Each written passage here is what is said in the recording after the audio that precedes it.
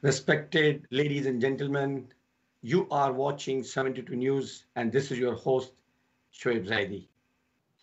We had a quote, stand up for the champions. So if we have the champions, we practice that we stand up for the champions. But sometime, because we are online nowadays, we don't have opportunity to stand up for the champions or hero.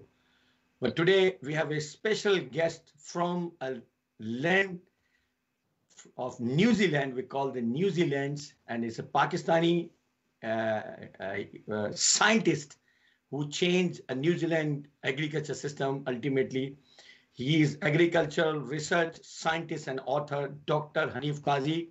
And I believe if it is not the online show, we when I introduce him, we should stand for his respect because he's not less than the champion of the country, our country, and as well as the country where he's living now. So he's uh, he's what he likes. A guy, a man from Malakad agency settles in New Zealand and change the face of the New Zealand in many ways.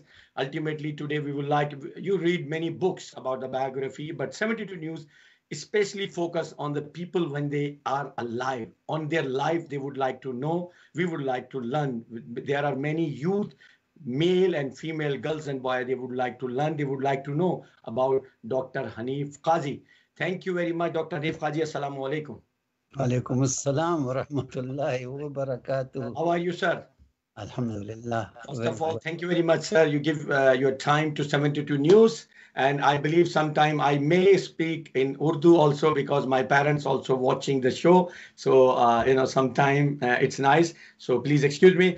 नाजरीन doctor Hanif काजी एक ऐसी शख्सियत एक जिसने New Zealand में agriculture system को और वहाँ पर जो फेथ और मुस्लिम बिलीविंग कॉन्सेप्ट था उसमें भी एक तरह से इनकलाबी किरदार अदा किया है। जानने की कोशिश करेंगे उनके उनके बारे में।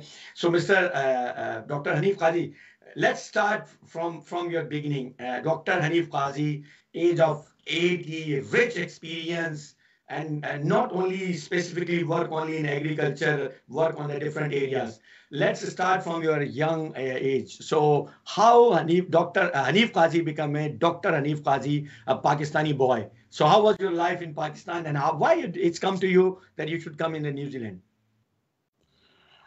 बिस्मिल्लाहिर्रहमानिर्रहीम बहुत शुक्रिया जैदी साहब और Channel 72. Thank you very much for inviting me and uh, for giving me this opportunity to talk to my countrymen. It's uh, the happiest day of my life. Thank you. To, Thank you. That's really to, big honor.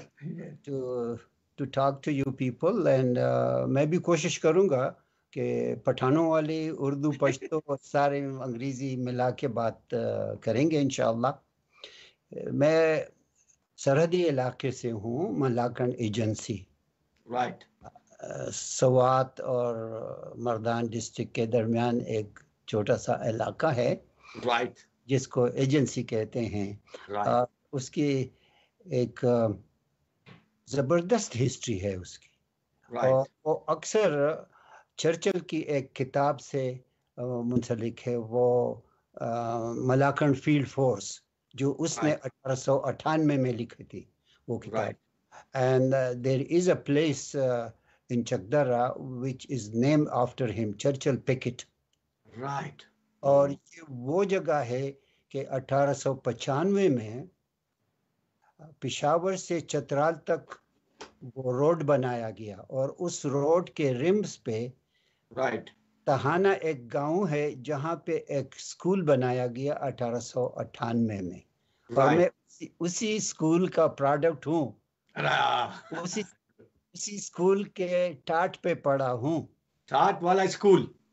टाट वाला school तो और जो मैंने school joining शुरू की तो वो 1946 one year just before the partition तो मुझे वो दिन याद है कि मेरे अदना के क्लास में मेरे साथ एक हिंदू बच्चा भी था और हमसे सीनियर दो सिख लड़के भी थे लेकिन एक साल बाद वो सारे चले गए और हम सोचते रहे कि ये क्या हुआ। क्या हुआ? हाँ उस इसी तरीके से वो दिन भी मुझे याद है। राइट मैं जब स्कूल आया तो टाट पे बच्चे बिल्कुल गैर हाजिर थे। Right. तो मैंने पूछा वो बच्चे कहाँ गए? वेर इज़ एवरीबडी मैंने कहा वो कि वो नेहरू पे आ, पत्थर फेंकने गए हैं। Gone to throw stones on Nehru तो वही दिन था जब नेहरू जी ने मलाखंड का दौरा किया और वो रेफरेंडम का माहौल था। तो अल्हम्दुलिल्लाह मलाखंड का सारा इलाका जो है वो अब तक प्रो इस्लामाबाद है। वो डायरेक्टली सेंट्रल गवर्नमेंट के साथ हैं और उसी तरीका उनका सोच है और ये उसी दिन से है कि पाकिस्तान ये जो मलाकंड और सुबह सरहद है वो रेफरेंडम में पाकिस्तान के साथ आ गया और मैं एक खुशखिस्मत इंसान हूँ कि उसी स्कूल से मैं पढ़ा हूँ। फिर इस्लामिया कॉलेज पिशावर से मैंने एम एस एग्रीकल्चर में की और मुझे उस वक़्त रिसर्च का इतना रिवाज नहीं था हमारी यूनिवर्सिटी में। तो right. मेरे वाइस चांसलर ने उस वक़्त चौधरी मोहम्मद अली वाइस चांसलर थे। तो मैंने उनसे रिक्वेस्ट की कि जी मैं एमएससी करना चाहता हूँ लेकिन आ, हमारे कॉलेज में रिसर्च का वो डिग्री नहीं है। तो उसने कहा मैं तुम्हारे लिए ये करता हूँ। तो उसने माशाल्लाह रिसर्च एमएससी शुरू की और चार साल एम एमएससी में लगाए। और उसी में जो रिसर्च की उससे इतने ज़बरदस्त नतज हासिल हुए कि मुझे कॉमनवेल्थ स्कॉलरशिप मिल गई और वो स्कॉलरशिप मुझे न्यूजीलैंड ले आए। न्यूजीलैंड ले आए। सही सही तो New Zealand was not your choice it was the decision from the God ऐसे ही it was yes it was a commonwealth scholarship that i got for lincoln university canterbury university of uh, New Zealand यहाँ पे और मैंने यहाँ से PhD की, वो भी तीन साल में।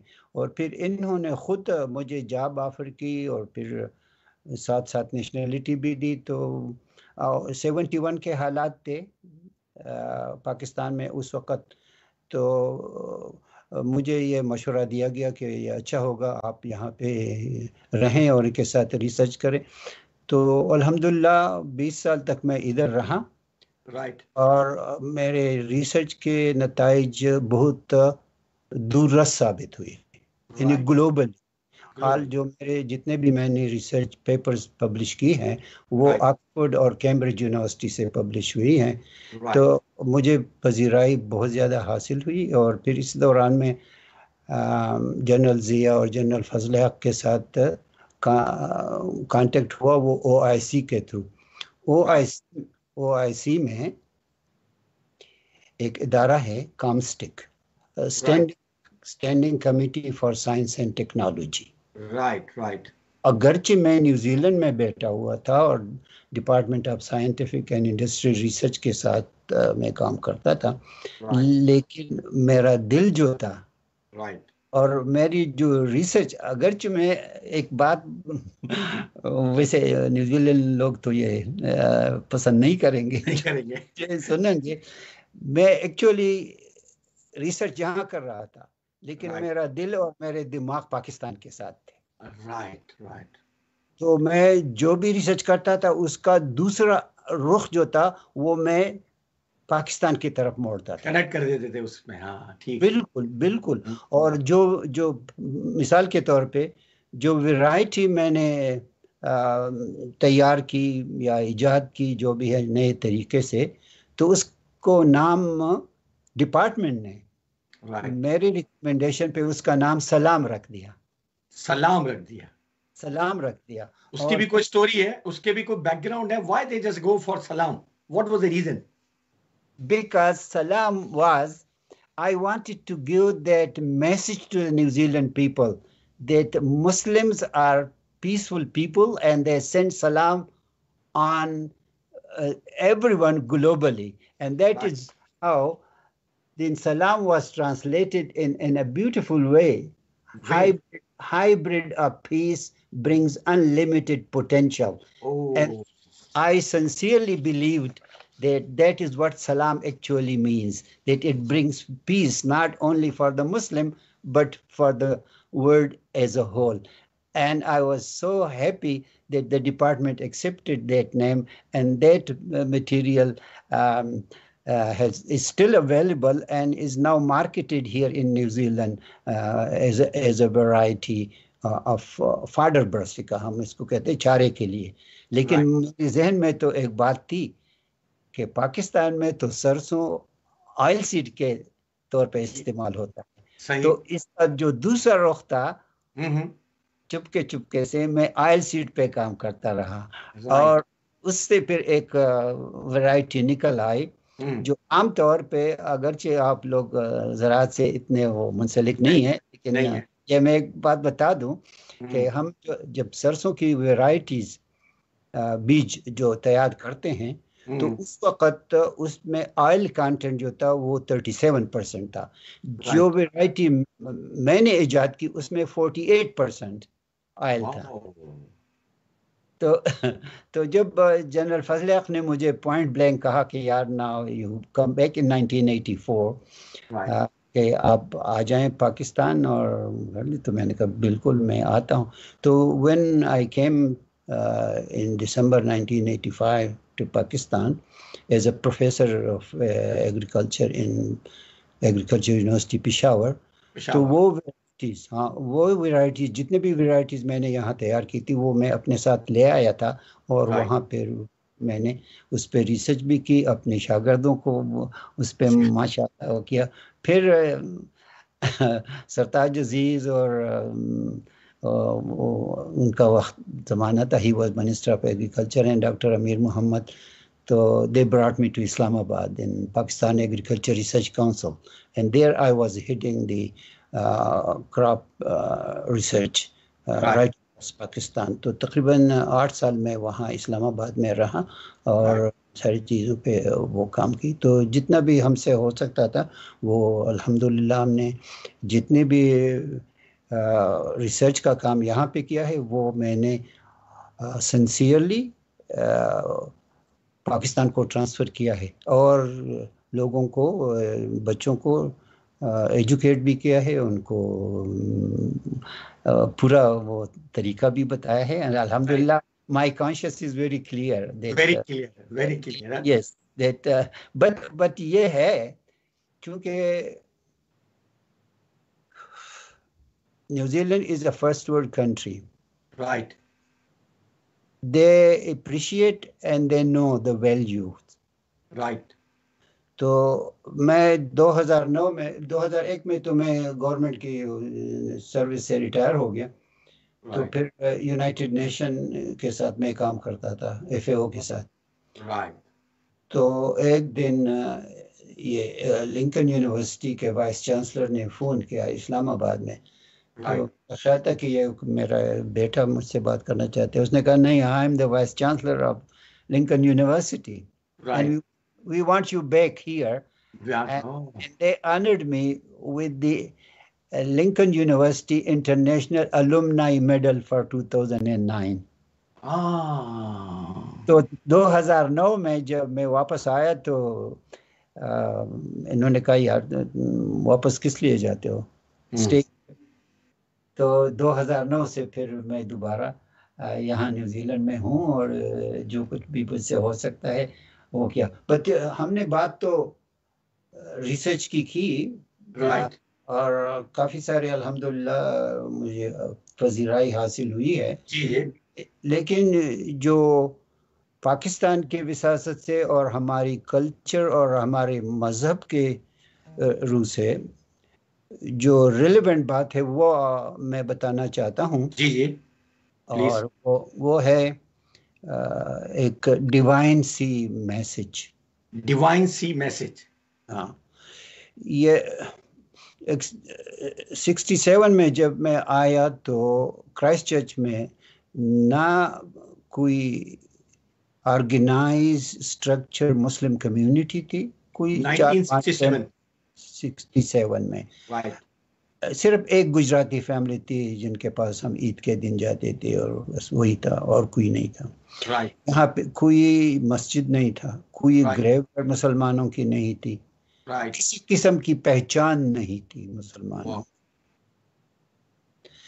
और फिर 19 ओके दस साल तो मुझे लग गए अपने करियर बनाने और उसमें तो 79 तो 1977 में राइट एक हादिसा हुआ राइट आपको याद होगा कि 1972 में युगेंडा से सारे इंडियंस को निकाल दिया था तो उसमें.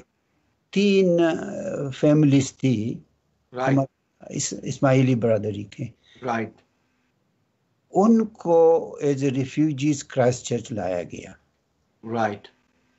तो एक दिन I was busy in my live early in the morning and telephone came that the operator said, Dr. Qazi, there's a chaplain from the Christchurch Hospital wants to talk to you. Right. तो जब मैंने बात की तो उसने कहा कि a gentleman has died this morning and he has asked for a Islamic burial. Ah. तो मैंने लंबा सांस लिया। hmm, मैंने भी अभी लिया। हाँ। तो मैं मेरे वाले साहब जो थे वो गाँव के इमाम थे। hmm. और he used to give this last rites to the dying people और वो ये कफन भी बनाती थी और वो भी लेकिन एक तो जवानी थी हमने कोशिश नहीं की उसको सीखने का लेकिन वो मौका आया।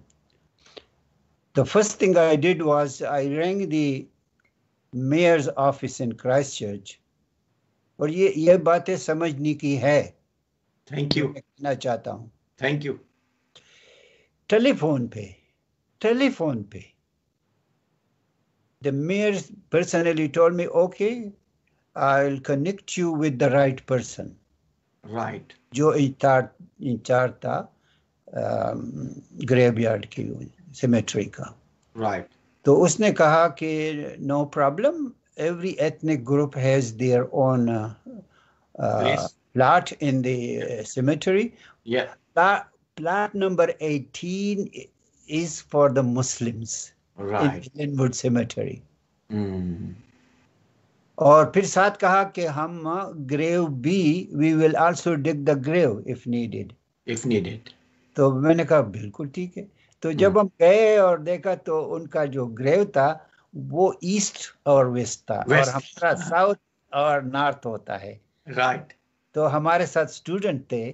तो उन्होंने जल्दी जल्दी दोबारा इस उसको किया and in a small church I led the namazi janaza. Namazi janaza. और ये हम तीन बंदे थे एक ये गुजराती भाई जिसका नाम था इस्माइल खारा मोहम्मद इस्माइल और मोहम्मद सुलेमान खारा और एक पाकिस्तानी भाई लाहौर से था Mansoor Khwaja he was a young man the three of us sit there next to the body. I never touched a dead body in my life before. Before, oh my God. That, yes.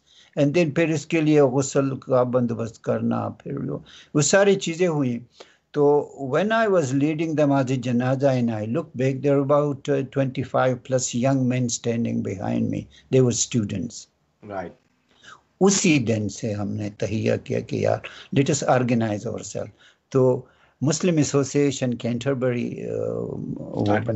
हाँ और फिर uh, 1982 में हमने ये मस्जिद बनाने का plan किया और उस वक्त total families were only five and total Muslim population in Christchurch, according to the 1981 census, the population was 267.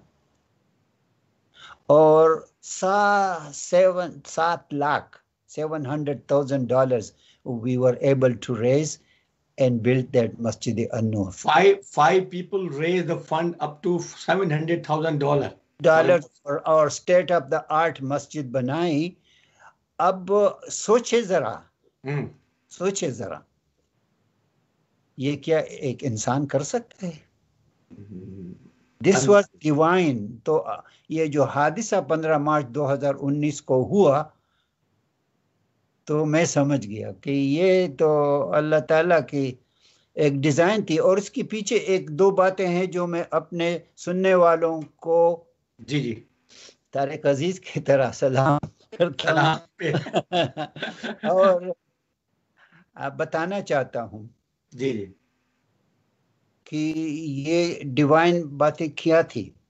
Right रिकटन बारो काउंसिल जो इस क्राइस्ट चर्च में एक बारो काउंसिल है उसके आ, इदारे में उसके माँ क्या कहते हैं in the surrounding in their authority we were building this मस्जिद तो उसकी चेयरमैन ने तो हाँ की लेकिन जो कमेटी का हेड था he was not willing to give us permission to build the मस्जिद राइट और उसके जो खदशात थे वो दो थे। एक ये कि ये सुबह सवेरे अजान देंगे। अजान देंगे और लोगों को डिस्टर्ब करेंगे तो वो चेयरमैन ने उसका जवाब दिया कि क्या उसी नाइबरहुड में जो सेंट बानाबस की चर्च की परमिशन आपने दी थी क्या उसको सोचा था? ये सवाल पूछा था? पूछा था। गुड तो नहीं तो उस चेयरमैन ने कहा नहीं आगे परमिशन.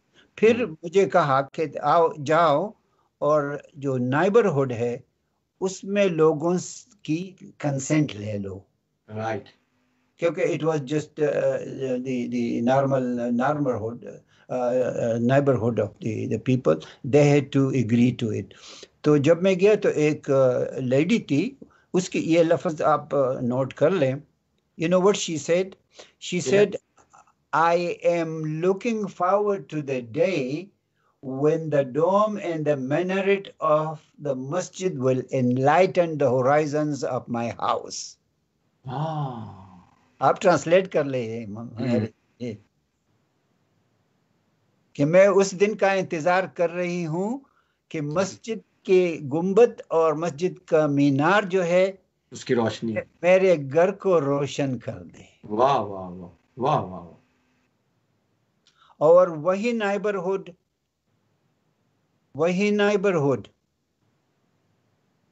15 मार्च 2019 को एक मैदान जंग बन गया और वही नाइबरहुड ने उन लोगों को प्रोटेक्शन दी जिन्होंने छलांग लगाकर लोगों के घरों में दाखिल हुए उस टेररिस्ट की बुलेट्स बचने के लिए। बचने तो अच्छा एक और बात जो मैं कहना चाहता हूँ। जी जी प्लीज़ कि जिस बंदे ने कहा था कि इस मिनरेट से अजान की आवाज़ और मैसेज आएगी आएगी उसी मस्जिद से 22 मार्च 2019 को बीस बाईस हज़ार पब्लिक के सामने और prime minister of New Zealand and the system of New Zealand was there और आजान दिया गया और सारी दुनिया में वो आजान सुनाई गई।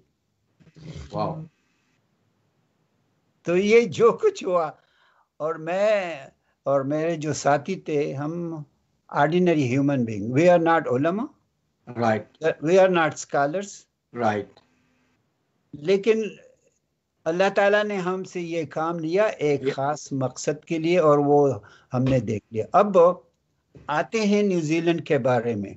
राइट न्यूजीलैंड आजकल दुनिया में काफ़ी माशाल्लाह इज़्ज़त की निगाहों से इसको देखा जाता है कि this is one of the best govern country पूरी दुनिया के बड़े बड़े लीडरों ने न्यूजीलैंड के एक छोटे से मुल्क से मेरे ख्याल में बहुत सीखा है और नहीं सीखा तो सीखना चाहिए। तो एक तो यह है कि इसके जो जियोग्राफी है दैट इज़ यूनिक राइट इनका कोई नाइबर नहीं है इनका किसी के साथ किसी किस्म का लेन देन वो झगड़ा वगैरह कोई नहीं है। They have clean clean heart and a clean slate right right right right दूसरा यहाँ पे this is a bicultural society right Maoris यहाँ के जो ओरिजिनल बाशिंदे हैं और यूरोपियंस हैं तो ये mutually they respect one another right और ख़ासकर जो जो यूरोपियन है वो तो अल्हम्दुलिल्लाह दे आर बिलीवर्स राइट और बिलीफ के लिहाज से हमारे बहुत करीब हैं। इनकी जो हिस्ट्री है इनकी जो स्टोरीज हैं biblical stories they are the same as those mention in the Quran and the like so we have a very common ground with them when it comes to discussions and uh, respect uh, for the uh, divine uh, tawhid uh, majority of the people, whether they are the Jewish background people here or the Christian, who believe in one God, in one Allah, and they are very close uh, to us in that respect. जो Maoris हैं उनकी एक खास culture है जो बिल्कुल पठानों वाली culture है अच्छा वो ये है कि पठानों के गाँवों में एक लफ्ज इस्तेमाल होता है हुजरा। हुजरा। जो कम्युनिटी के हर एक खा वो खान हो खा वो गरीब हो सारे आते हैं और इसी एक जगह बैठते हैं एक जगह पे उनकी शादी वगैरह भी होती है उसमें फातिहा खानी भी होती है सब कुछ उनका जो कल्चर है उसी हुजरे से होता है। और यहाँ पे इनको मावरी जो है अपने हुजरे को मराए कहते हैं marae. Right it is not a church right ये एक कल्चरल हुजरा है इनका। Right right.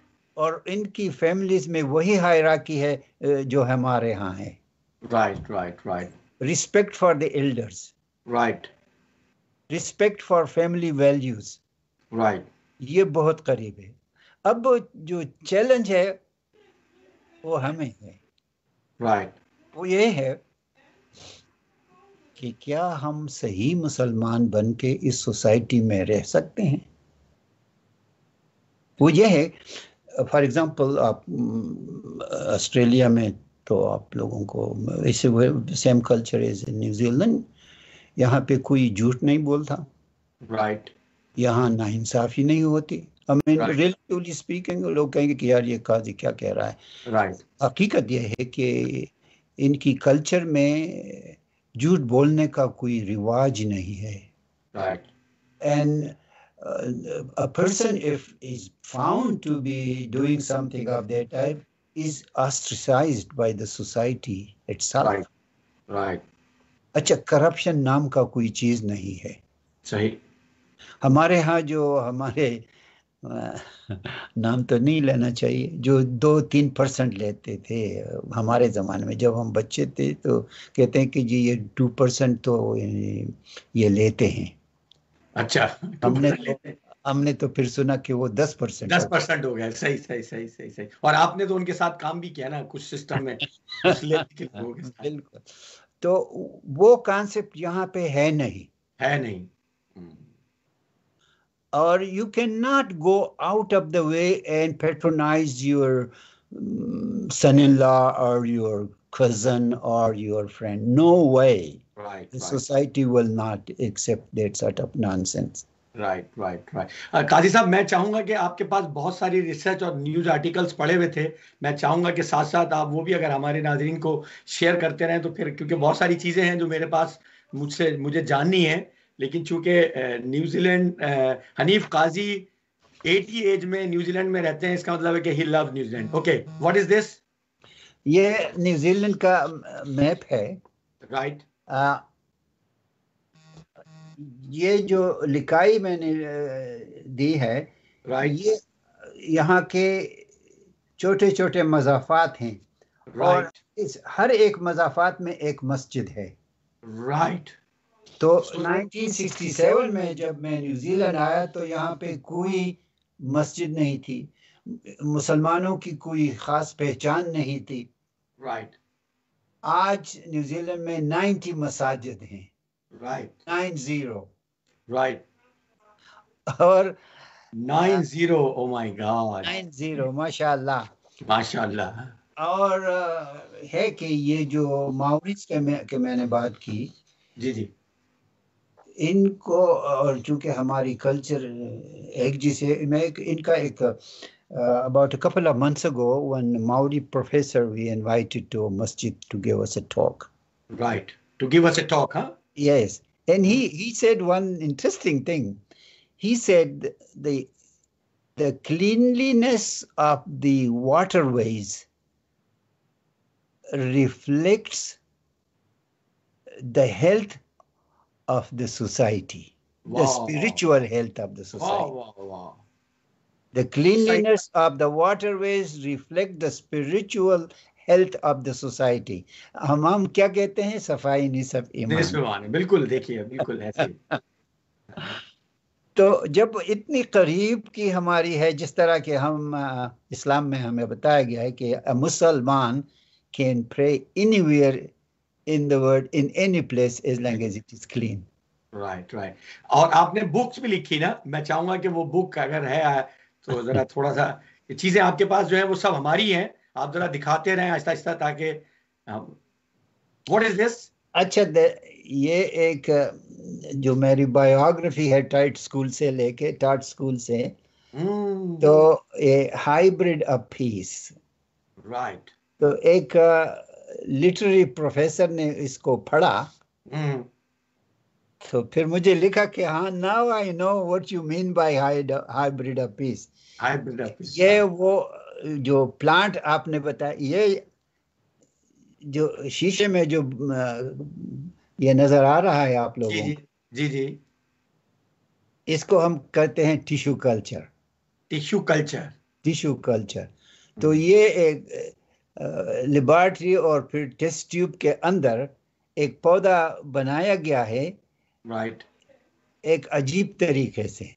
Right right. उसको हम कहते हैं नावल टेक्निक राइट तो ये novel technique was not known in New Zealand right before doctor Asif Qazi हाँ तो इस तरह हुआ hmm. कि हमारे पाकिस्तान में हम जिसको तेलिया कहते हैं तेलिया?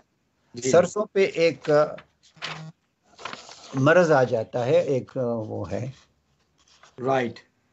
तो मुझे ये असाइनमेंट दी गई कि भाई अब इसके लिए कुछ करना है बाकी साइंटिस्ट ने काफ़ी कोशिश की थी ट्रेडिशनल तरीके से नहीं हुआ कि तेलिया की मदाफियत के लिए पौधा कैसे तैयार करें राइट right. तो वो नहीं हो सका सारी दुनिया में राइट right. तो जब मुझे कहा गया तो मैंने एक यूनिवर्सिटी ऑफ़ नाटिंगहम इंग्लैंड में एक प्रोफेसर था उससे मैंने बात की। Right right. कि मैं ये एक तरीका है जो मैं ट्राई करना चाहता हूँ। करना चाहता हूँ सही। तो उसने कहा आ जाओ। आ जाओ। हाँ तो मैं नाटिंग चला गया। मेरा डायरेक्टर यहाँ पे कहता है नहीं तूने नहीं जाना है। नहीं जाना। फिर मैंने प्रोफेसर से उस बात की कि जी मैं जाना चाहता हूँ लेकिन मेरा डायरेक्टर कुछ इजाज़त नहीं दे तो मैंने कहा मैं चुपके से चला जाता हूँ। नहीं नहीं नहीं tell him sooner or later he will catch up with you तो I came and I told my director look this is very important I want to really go and तो जब मैं गया तो अल्हम्दुलिल्लाह ये अजीब सी बात मैं कह रहा हूँ जी जी जी जी please please professor Edward Cocking ये बड़े नामवर प्रोफेसर थे जिसने एक फूलदार पौधा उसकी एक सिल से एक पौधा बनाया था सिल इन जस्ट अ सिंगल सिल जिसको कहते हैं राइट right, राइट right. तो वो एक्सपेरिमेंटल था तो मैंने right. कहा मैं वही तरीका में सरसों की वैरायटी बनाना चाहता हूँ उसी तरीके से जिसमें तेलिया की मुदाफ़ियात हो right right. So it doesn't make sense. I mean, it was a crazy, wild idea. Crazy. wild idea. Mm. तो उसने कहा आ जाओ आ जाओ तो जब मैं गया तो उसने पौधे मेरे तैयार किए हुए थे और मैंने काम उस पर शुरू की would you believe it within six weeks वो तजुर्बा कामयाब हुआ सरसों में राइट right. फिर उसने लिखा मेरे डायरेक्टर को कि something that he has been working on for ten Hanif Qazi has done that in six weeks. Six weeks. Yeah. तो anyhow जब उसने फिर उसने कहा कि I should stay in Nottingham तो मेरे डायरेक्टर ने कहा नहीं हनीफ मस्ट कम बैक तो मैं वापस आया तो हनीफ साहब ये जो ये जो उन्होंने आपके साथ कहा कि मैं दस साल से कर रहा था और छह हफ़्ते में कर दिया अगर ये हमारा मुल्क होता तो उसमें वो सारा क्रेडिट खुद ही ले लेते और यानी कितना ट्रांसपेरेंट सिस्टम है यहाँ पे। ऐसे ही है ना? बिल्कुल बिल्कुल। अब ये देखें ये जो तस्वीर है जहाँ पे मैं बैठा हूँ और मेरे सामने पौधे हैं जी जी। ये उसी वैरायटी की हैं जो मैंने उसी तरीके से तैयार की। और जो मेरे पीछे आप ये फ़ील्ड देख रहे हैं जी जी। ये सारे फ़ील्ड में आ, सड़े हुए पौधे हैं जो एफिड के अटैक की वजह से मर गए हैं। हाँ। तो ये एक ही लाइन बच गया है जो हाँ। मेरा मेरा वाला था। वाओ वाओ वाओ माशाल्लाह माशा यानी बिल्कुल क्लियर नज़र आ रहा है सरसों के खेत में सिर्फ़ वही लाइन बचा हुआ है जिसपे डॉक्टर हनीफ काजी के हाथ हैं। इस पे लिखा भी है एफिड रेजिस्टेंट प्रोजेक्ट सक्सीड्स ये यहाँ का जो वेलिंगटन में डोमिनियन न्यूज़पेपर है right. ये ये इसकी वो है। तो ये वैरायटी अब आम तौर पे बोया जाता है यहाँ न्यूजीलैंड में अब भी। राइट यस इस इस पे वो है एक फोटोग्राफ है लेकिन मेरे साथ इस वक्त नहीं है। तो Right. अल्हम्दुलिल्लाह और मैं ये ये सीड में लाया था मैं कागान में ट्राई किया। फिर इसके साथ साथ ये तो चारे के लिए था इसके साथ साथ जो ऑयल सीड का था जिसमें एट परसेंट ऑयल थे वो मैं ले आया पाकिस्तान और वो पी आर सी में साइंटिस्ट अब भी उसको इस्तेमाल करते हैं अपने एक्सपेरिमेंट्स में। राइट यानी तो ये जो ये this experiment help on New Zealanders as well as Pakistani scientist also exactly अच्छा एक और बात जो है वो ये पोटैटो पोटैटो बुलेटिन अच्छा इसमें एक सेंटेंस लिखा है इन्होंने। The birth of disease free potato right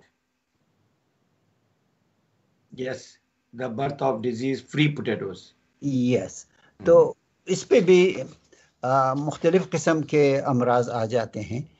और ये इसको जो टिश्यू कल्चर का तरीका जो मैंने इस्तेमाल किया था राइट पोटैटो की बीज बनाने के लिए राइट तो ये तरीका न्यूजीलैंड में अननोन था। राइज राइट राइज राइज तो नहीं था लेकिन नॉन भी नहीं था। नॉन भी नहीं था। राइट हाँ तो जब ये डिज़ीज़ फ्री पोटैटो इन्होंने उस तरीके से पैदा की तो फिर ये जो तरीक़ाकार है ये इन्होंने अपने सीट सर्टिफिकेशन सिस्टम में डाल दिया कि पोटैटो की बीज को सर्टिफाई करने के लिए टिश्यू कल्चर का होना लाजमी है। टिश्यू कल्चर भी और सर्टिफिकेशन भी कुछ ऐसा मैं पढ़ रहा था आपके बारे में कुछ कुछ सी सर्टिफिकेशन का भी कॉन्सेप्ट आपने इंट्रोड्यूस किया है। जी जी।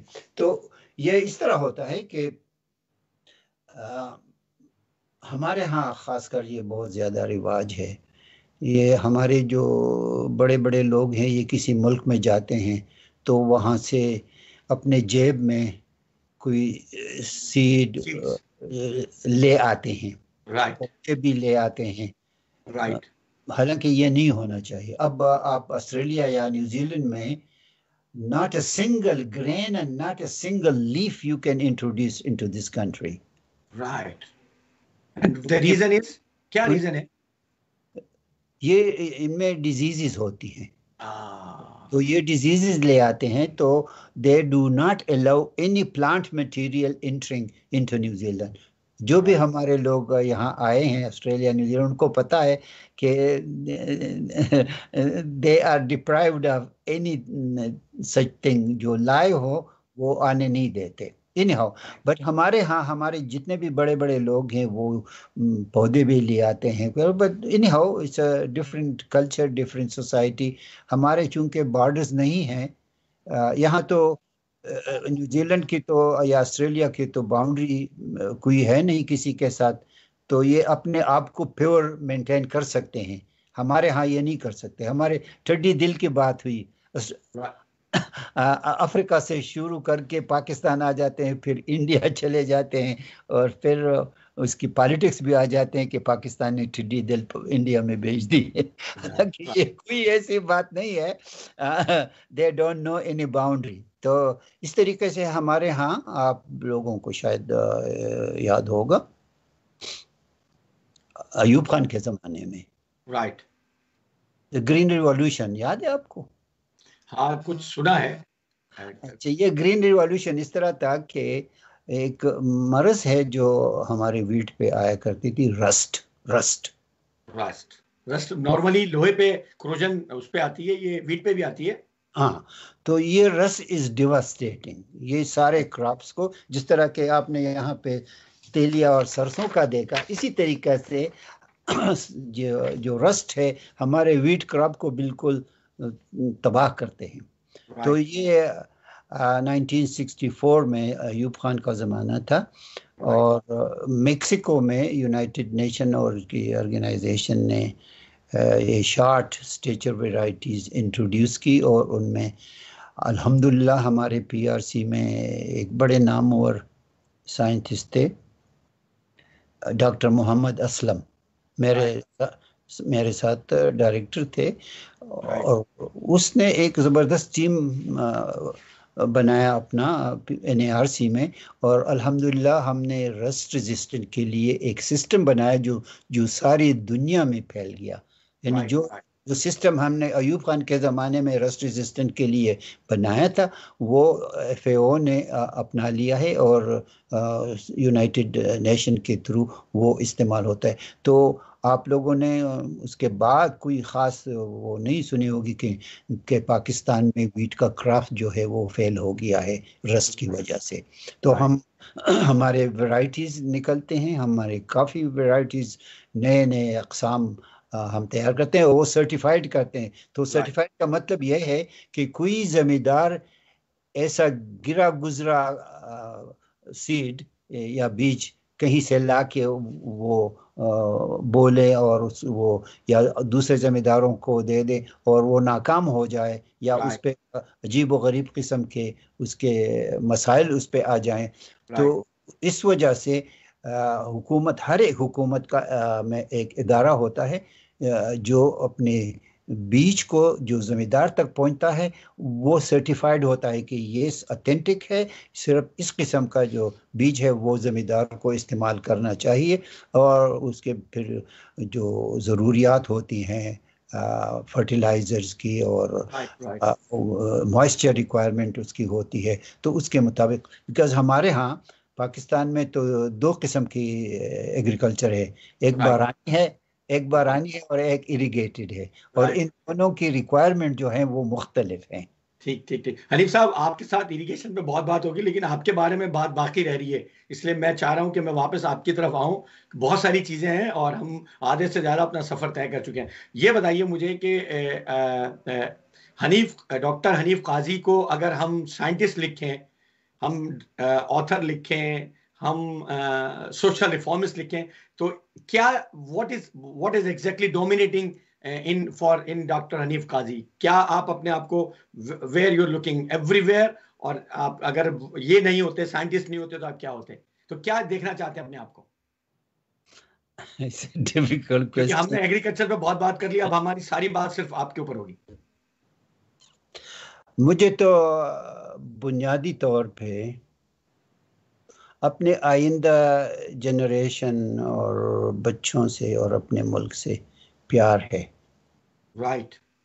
और एक बात जो मेरे जहन में है for a very long time ये भट्टू साहब के ज़माने में मुझे याद है जब उसने ऐलान किया एजुकेशन के बारे में लेकिन उसने ये नहीं कहा कि education will be compulsory right तो उसी वक्त मैंने सोचा कि इस अजीम लीडर ने एजुकेशन को कंपलसरी नहीं किया।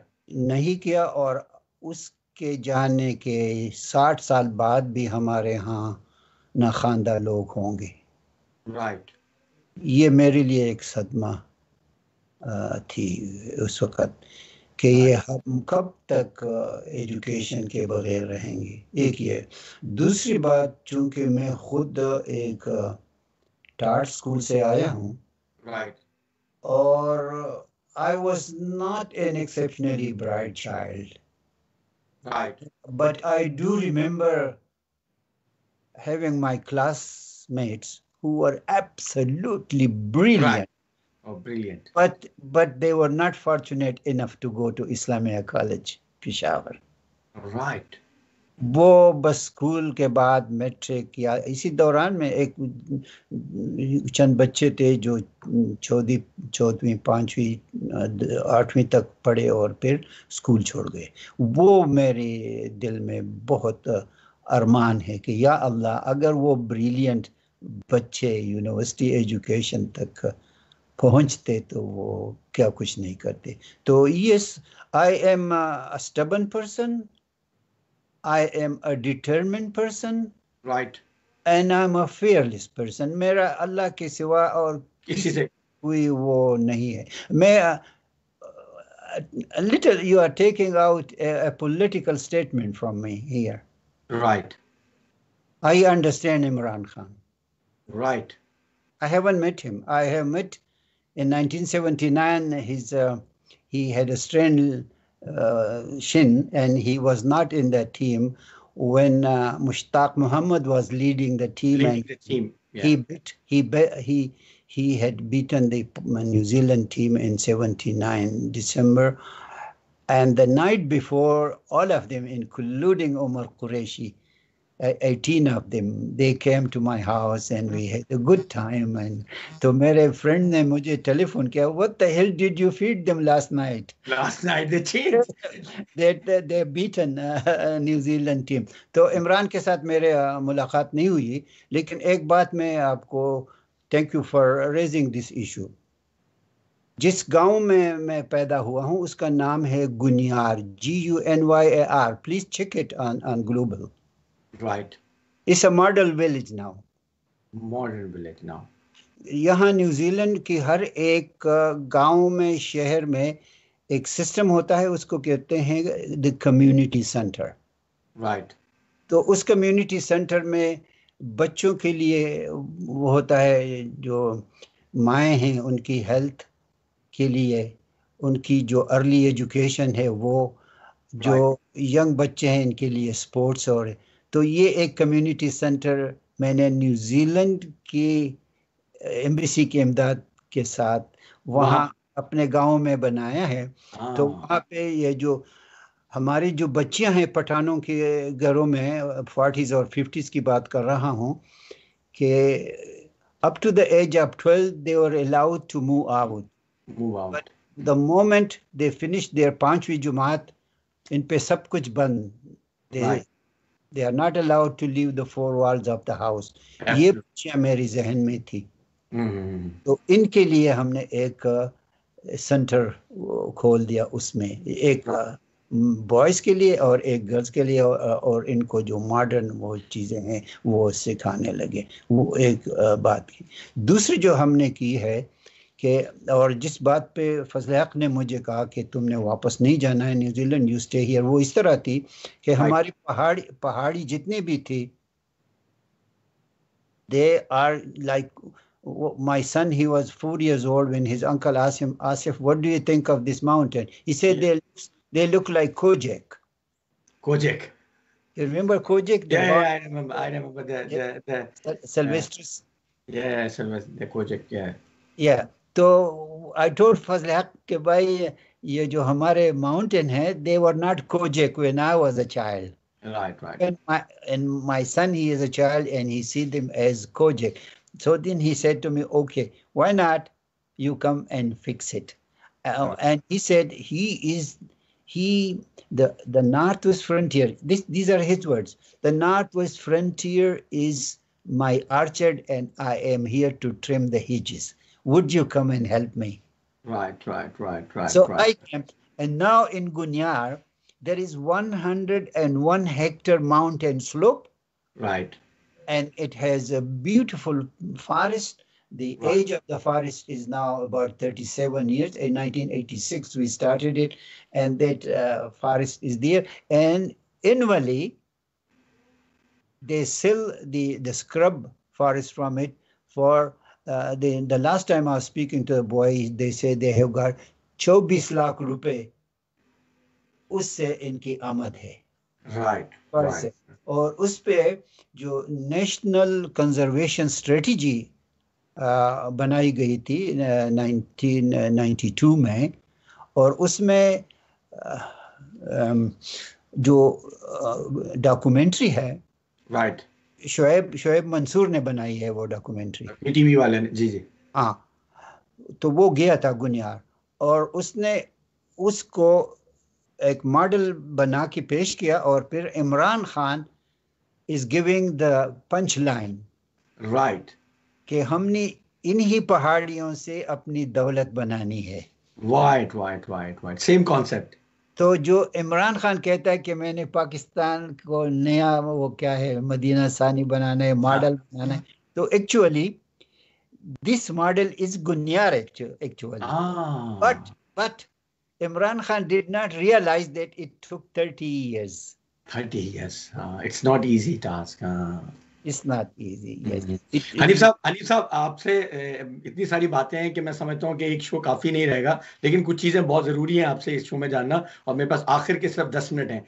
I am just quoting headlines Muslim community leader calls for frank conversion on cultural attitudes एक कॉन्सेप्ट है डॉक्टर हनीफ काजी साहब का कोई स्टेटमेंट है। हम ये चाहते हैं कि हमारी बेटियों को खास तौर पे what exactly you are trying to explain to the community specially the youth frank conversion frank conversation yes. Conversation.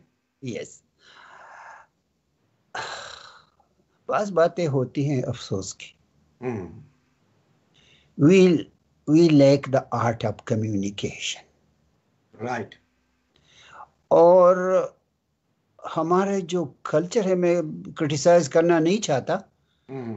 लेकिन हमारे जो सिस्टम जिसमें हम पले पूसे हैं हमें ये तालीम नहीं दी गई है कि हम दूसरों में गुडनेस तलाश कर लें राइट right.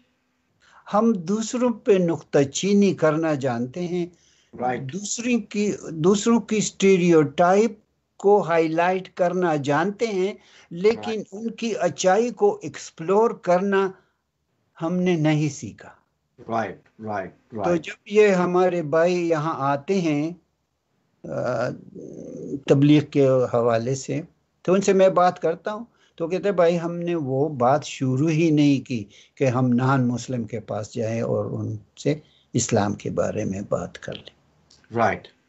तो एक बात यह है और ये मैं अपने डायरेक्टर की बात आपको बता दूँ और शायद उसका फ़ोटो भी है इधर।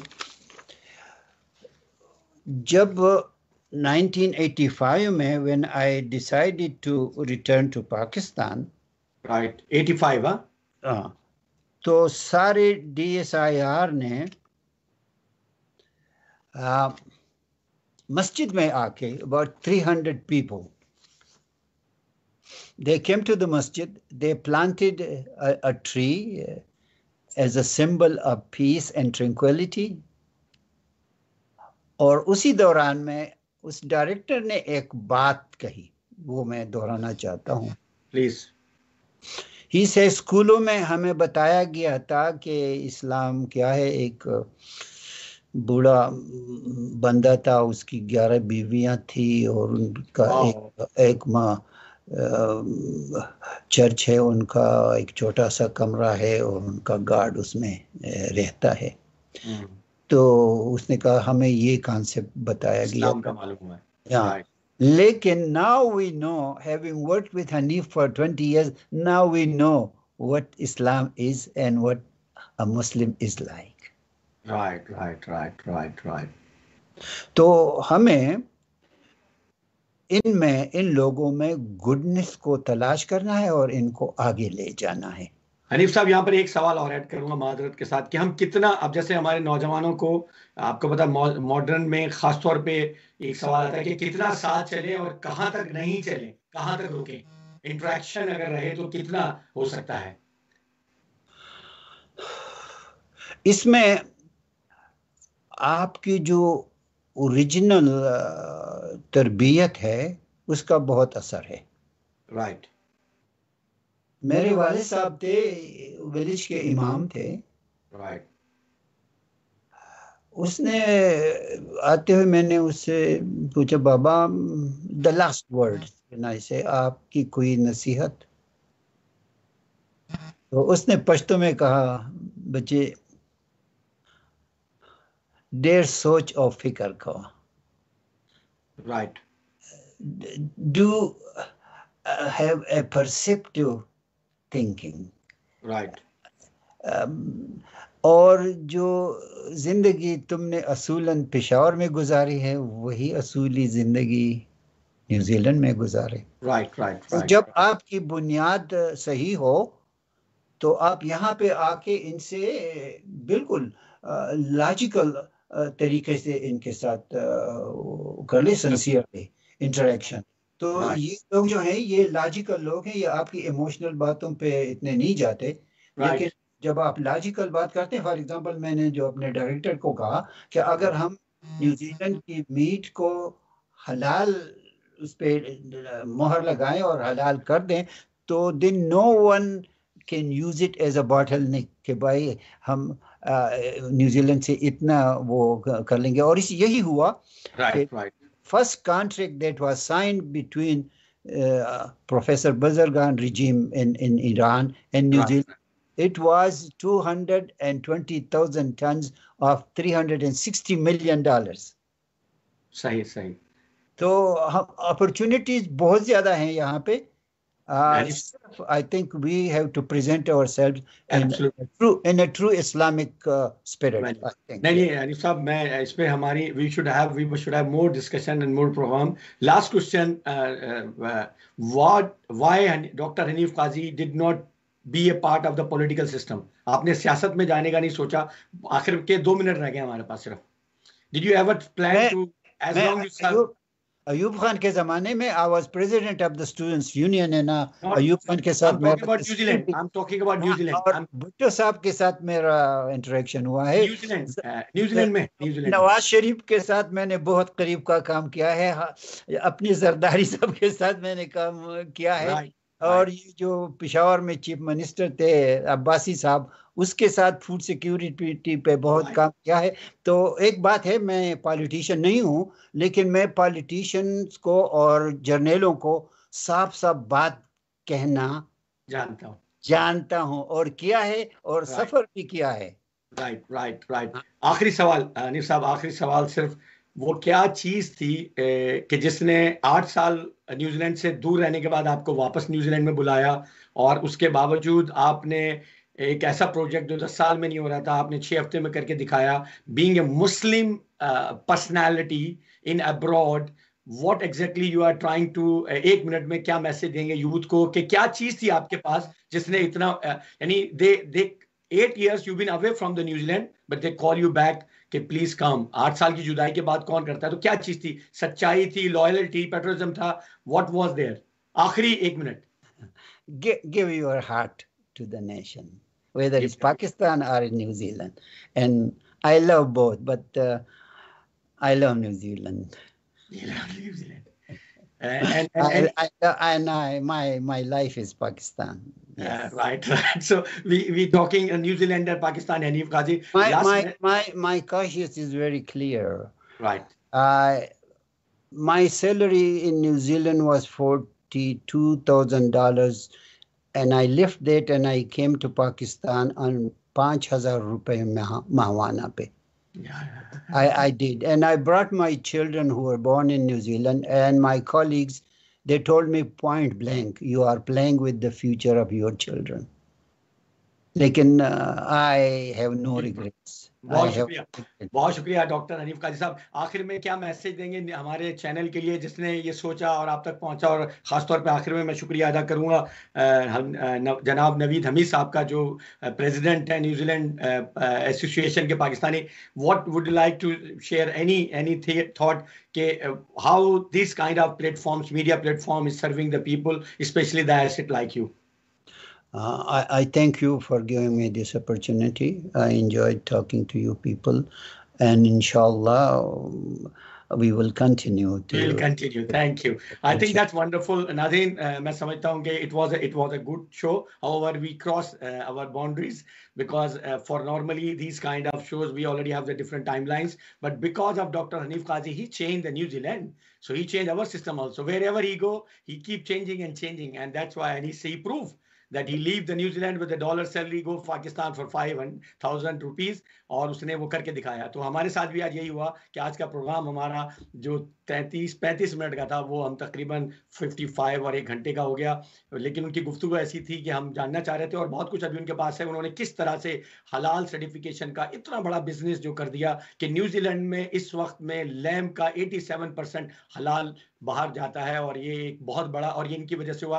नाजरीन, उम्मीद करता हूँ कि हमारा ये डॉक्टर हनीफ काजी साहब के साथ एक exclusive interview seventy two news का हमारे नाजीन को पसंद आएगा और बहुत इनके बारे में जानना है इनशाला फिर अगले किसी प्रोग्राम में नवीद हमीद से फिर रिक्वेस्ट करेंगे। And will see with doctor Hanif Qazi विदास तब तक के लिए खुदा हाफिज। Thank you sir god